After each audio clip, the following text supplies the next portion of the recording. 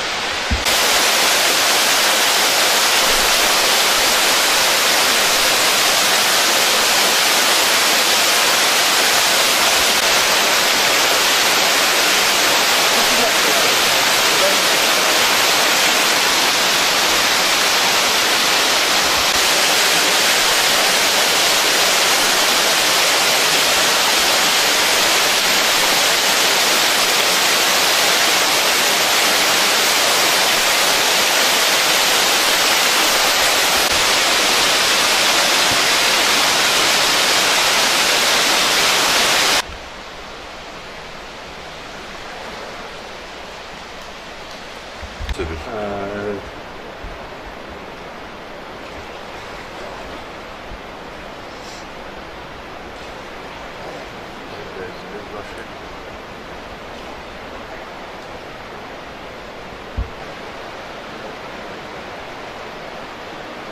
Antalya ili İbrad ilçesi Ürünlü köy muhtarı Mutlullah Murat Yamansoy.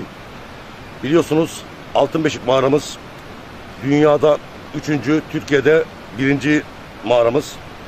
Ne yazıktır ki bir buçuk yıldır mağaramız pandemiden dolayı kapalı.